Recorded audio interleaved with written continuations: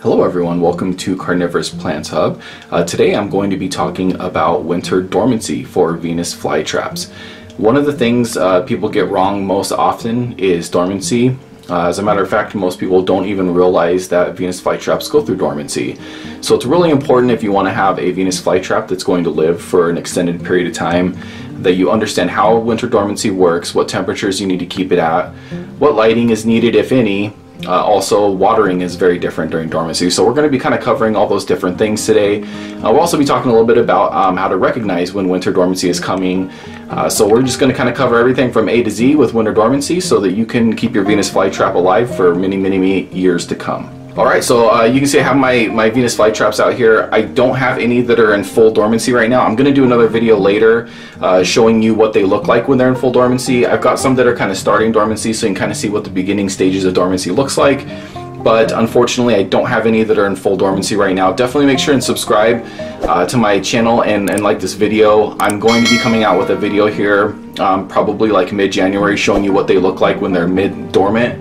Uh, so that's definitely coming. But today we're going to be talking more about dormancy than actually showing dormancy. I just have these out here for something for you to look at while you listen to me uh, talk about winter dormancy. All right, before we jump into that, I just wanted to thank you for being here. As you know, I'm trying to start my own uh, carnivorous plant nursery. You being here helps support that dream. Make sure to subscribe to my channel, like this video. I'm really working hard to, to get this going. Um, one of the things that I'm trying to do right now is I'm trying to extend my growing season uh, up here in the Northwest uh, because we just don't have a long enough growing period. That's why I have these under a light right now. They're not quite in full dormancy. If I was just growing these as a hobby, these would probably be outside right now or in an unheated room attached to my home going into full dormancy. But as of right now, I'm still trying to extend them um, during the growing season just a little bit. But we're going to talk about full dormancy today. So thank you so much for being here. I really appreciate it. Uh, let's let's start talking about it. First thing we're going to talk about real quick um, is how they look when they go into dormancy. I wish I had plants that were in dormancy right now for you, but I don't. Um, but what you're going to look at uh, what you're going to see is one of the first things you're going to notice is your Venus flytraps are going to start growing a little bit closer to the ground. You can see this one here. You can see how close all those are growing to the ground. Um, that's because this has actually started its winter dormancy. You can see all these are growing really, really close to the ground. Uh, and that's mostly because I have lowered the photo period for these Venus flytraps and it's also colder in here than it was outside when I pulled them in so it's sort of the beginning stages of dormancy they realize it's starting to get colder they're starting to be less light um, which means that dormancy is definitely going to be coming. Uh, one other thing you'll start to notice is some of your Venus flytraps, uh, some of the actual traps will start to turn black. Now you can see some of these here are black. That's really not all that different than in the summer. The, the color of your Venus flytrap will fade a little bit. They won't be quite as vibrant of a green and you will slowly start to see some of the traps dying off. And that's perfectly fine because they're not getting a lot of sun, they're not getting a lot of light, and they're probably not eating as many insects in the wintertime. Um, so they're not really expanding or growing. So some of these older fly traps are going to start to die off and that's perfectly fine. Don't worry about it. Black fly traps in winter dormancy is not a red flag. Um, it doesn't hurt anything. Now, with that being said, if you notice that you're getting a ton of black fly traps and it's happening really rapidly and it looks like your plant is starting to die, there could be a bigger problem. You might have too much water um, or you might have a pest problem. So make sure and, and, still if you start to get a lot of rapidly black uh, Venus flytrap heads, there could still be a problem. So you, you may need to sort of diagnose what that problem is. But a few black flytraps here and there and then seeing some of them turn black and die off uh, slowly while not any new ones are coming up. That's perfectly normal for winter dormancy. Okay, next thing we're going to talk about is what temperatures you need to maintain uh, during winter dormancy. If you live in zones 8 to 11, uh, you've kind of won the Venus flytrap lottery and you don't really need to do anything. Leave them outside. They'll be fine during the winter. It doesn't get too cold. Um, but it gets cold enough to put them into dormancy, you really just have to leave them outside. If you have some sort of freak weather where you're getting really, really low temperatures during the wintertime, you may need to bring them in for a little bit during those really low freezing temperatures. But other than that, you can probably just leave them outside and you're good to go. For everyone else, and, and particularly me since I live in the Northwest, what I'm looking for is keeping these fly traps between 25 and 45 degrees Fahrenheit.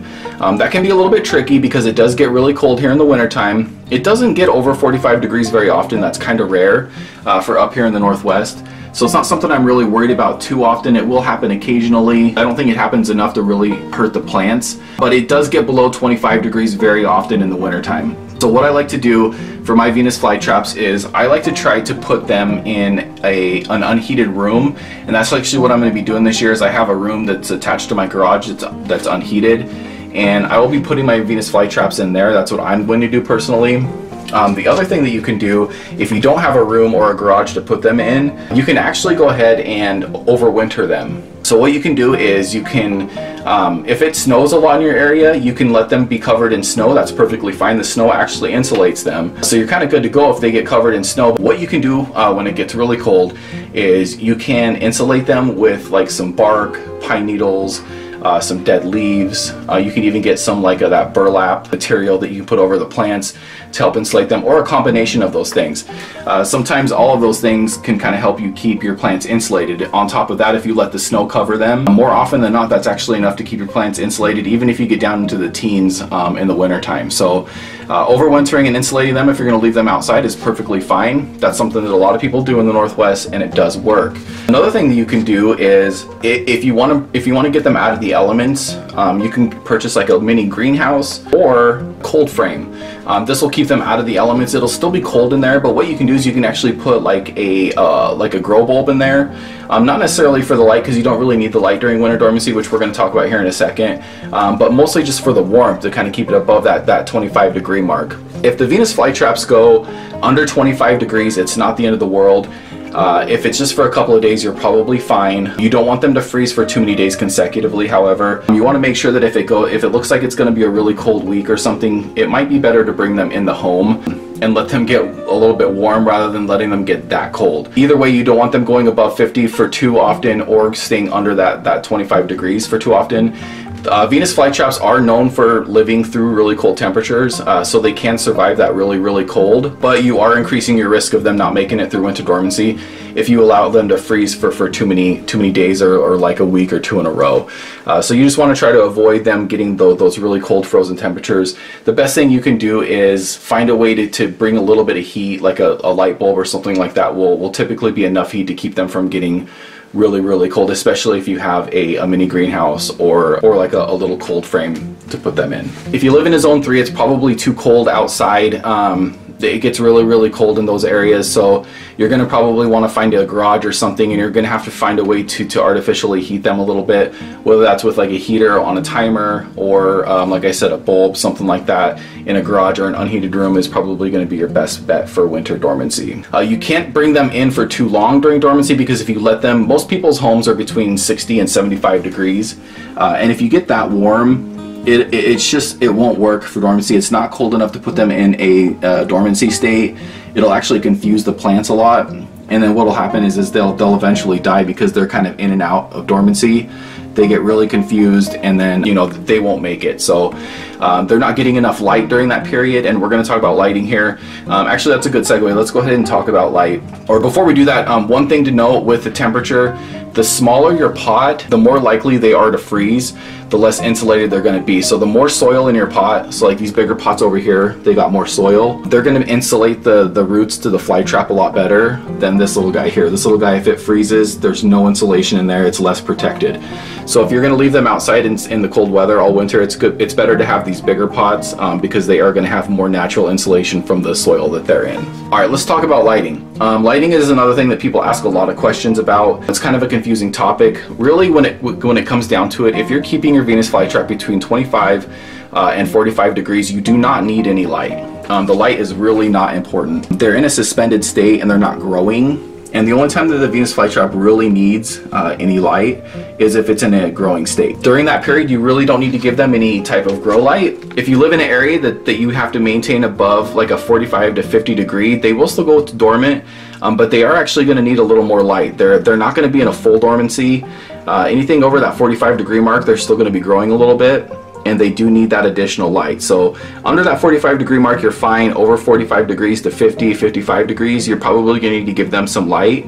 Uh, with that being said, you can tone it way back during that time because they're not growing nearly as much, uh, but they should have some kind of light over that. If you're keeping them under 45 degrees, no light is necessary. The other thing we're to talk about here real quick is watering during dormancy. This is another thing that people really, really get. I just had a comment the other day uh, where somebody was asking, um, you know, how much water should I give them? I've been leaving them in a tray of water during dormancy, and that's actually one of the worst things that you can do During winter dormancy, your Venus flytrap needs significantly less water. It's really important that you actually let that surface dry out just a little bit before you give them their next dose of water. Uh, during the wintertime when it gets really cold, they're a lot more susceptible to uh, fungus and, and mold growing on them. Um, and they're also a lot more susceptible to root rot. Uh, you can actually give a Venus flytrap root rot really easy in the wintertime if you keep them in a tray of water and, and really, really wet. So what I recommend is that you let that surface dry out um, before you give them any more water when they're in that winter dormancy. Um, you let them dry out a lot more than you would during the summertime. They're a lot less likely to dry out and die. Uh, it's kind of hard to dry them out too much during the winter unless you just completely forget about them. Um, but it is really important that you do not overwater them because it's really, really easy to do. I would never leave a tray of water for more than a day in the wintertime. And if you don't want to mess with the tray of water, you don't want to forget and accidentally leave them in the tray, you can just top water them like once a week. Uh, one of the, the biggest tips I can give though for that is know the, the weight of your pot. Um, if you know the weight of your pot when it needs water, versus has water, that's one of the easiest ways to know whether or not you need to give your Venus flytrap water uh, during dormancy period. If it's really, really light and you can feel it needs water, go ahead and give it a little water. It's going to stay heavy longer um, than it does in the, in the, summertime. That's one thing you'll really notice. But one of the biggest things people get wrong with winter dormancy is definitely too much water. Another another tip um, that I want to give you guys, I think this is really important. If you live in an area that's this sort of abnormal, like maybe it's way too cold or you have um, way too warm temperatures all year round to trigger a dormancy, uh, join a local group. Um, find a local group on Facebook Find a group of people that grow carnivorous plants, especially Venus flytraps, since that's what we're talking about right now, and, and, find out what they do for dormancy. Like It's likely that they successfully have gotten plants through dormancy and they know exactly um, what it is that you're going to need to do. I can give you a lot of information and advice from more of a general standpoint, um, but what it comes down to is that sometimes these rules are a little bit different depending on the area that you live in. So one of the best things that you can do for a successful dormancy, especially if you're in an area that's a little bit unusual weather-wise, like Hawaii or Florida, is find a group of, of growers in your area and, and ask that question to somebody local. Um, they're going to be able to give you the absolute best advice for what how to put your plant through dormant through a dormant period um, in that specific area. Uh, last thing I'm going to talk about, if you're desperate, you, your area that you live in is too warm, or the area that you live in gets too cold uh, year round, you may have to resort to refrigerator dormancy. I don't recommend this as a first resort. This is an absolute last resort, but you can keep, you know, obviously your refrigerators are typically between 35 and 40 degrees, so it's sort of the optimal temperature, um, and you can keep your Venus flytraps in there. One thing you're going to want to do um, is you're going to want to get a fungicide and make sure your Venus flytrap has that fungicide on it because they are so susceptible to that, the fungus and the mold and mildew and stuff um, when they're being kept in a fridge. Uh, and then you'll also want to put them in a Ziploc bag, um, whether you keep them in um, your pot or you just bare root them in there. Either way actually works, but you want to make sure you dip them in that fungicide a little bit before you put them in there. And then make sure that they're wrapped up in Ziploc bag to help protect them and the other things in your fridge. I'm actually going to be putting some of my plants through refrigerator dormancy, so I'm going to do a video on that. So make sure to subscribe to the channel and, and check that out as I bring that content so you guys can actually see what I do specifically to, to put these through a, a dormancy uh, through the refrigerator. So um, that's all I can think of right now. I, I, I I wanted to, to, bring you guys as much information as I could think of. One of some, some of the main questions that I'm getting in my comments right now is all about winter dormancy, which is understandable. It's the time of the year for, for plants to be going through dormancy. If you have any questions that I didn't answer, make sure and sound off in the comments below. I'll do my best to answer. It, it, like I said, if you live in a specific area that's really difficult to gauge and, and I'm not familiar with it, uh, I've read a lot of uh, people's information and comments through different groups, so I may know. But one of the best things you can do, like I said, is to join that group that, that grows plants locally, carnivorous plants or Venus flytraps in particular, and they can probably give you the best information on it. Throw any, any information in the comments. Uh, let me know what you guys think, uh, what works for you, what doesn't work for you. Uh, if you disagree with me, let's talk about it because I'm always open to different methods and, and, ways of doing things. So if you have some information, something that works better, definitely let me know and we can talk about it. But questions below and uh, anything else, thanks a lot for being here. I appreciate it. Subscribe to the channel, like the video, and uh, I really hope to catch you guys in my next video. Bye.